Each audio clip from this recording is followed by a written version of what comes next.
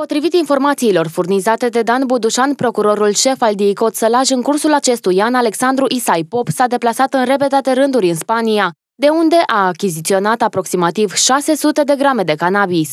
Drogurile au fost introduse mai apoi în țară, fiind ascunse în bagajele de mână și vândute mai multor tineri din județul Sălaj, unii dintre ei elevi. Astfel, din actele de urmărire penală efectuate în cauză rezultă faptul că, începând cu anul 2013, inculpatul a consumat droguri de risc și a valorificat droguri de risc, respectiv cannabis, unor tineri pe raza județului Sălaș pentru sume cuprinse între 40 și 50 de lei per gram. În cursul anului 2009, inculpatul s-a deplasat în Spania pentru a lucra în această țară împreună cu tatăl său în apropierea orașului Valencia. Cu această ocazie, inculpatul a început să consume ocazional împreună cu alți cetățeni spanioli cannabis sub forma unor țigări confecționate artizanal. În luna septembrie 2012, inculpatul s-a întors în țară pentru a presta diferite munci agricole pe raza județului Sălaj. În luna ianuarie 2014, inculpatul s-a întors în Spania, având asupra lui suma de 500 de euro necesară pentru achiziționarea unei cantități de cannabis cu intenția de a o introduce în țară și pentru valorificarea acesteia. A contactat un cetățean spaniol de la care a achiziționat aproximativ 200 de grame de cannabis pentru suma de 200 de euro. Inculpatul a ascuns această cantitate de cannabis într-un bagaj de mână și a reușit să aducă drogurile în țară prin punctul de trecere a frontierei Turnu, județul Arad. Ajungând acasă, inculpatul a ascuns această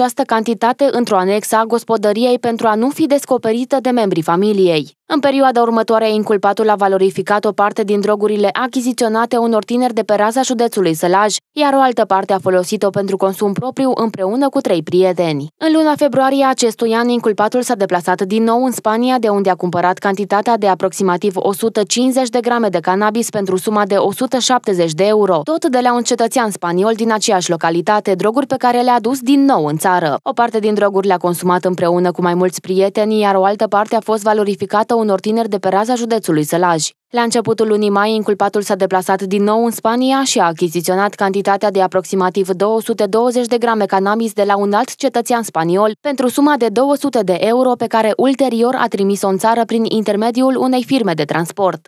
După efectuarea unor activități operative pentru identificarea consumatorilor și a traficanților de droguri la data de 8 mai 2014, sub coordonarea procurorului șef Dan Budușan din cadrul Direcției de Investigare a Infracțiunilor de Criminalitate Organizată și Terorism, Biroul Teritorial Sălaj, lucrătorii din cadrul Serviciului de Combatere a Criminalității Organizate Sălaj au procedat la efectuarea unei percheziții la locuința inculpatului, ocazie cu care a fost descoperită cantitatea de aproximativ 200 grame cannabis achiziționată de către acesta din Spania, se arată în informarea de ICOT Sălaj. Procurorul Dan Budușan a ținut să atragă atenția tuturor părinților ai căror copii călătoresc în Europa, sugerându-le să verifice cu atenție activitățile tinerilor. În cadrul conferinței de presă susținută de procurorul Dan Budușan, acesta a mai precizat că există informații că drogurile provenite din Spania au fost comercializate elevilor din mai multe licee din județul Sălaj.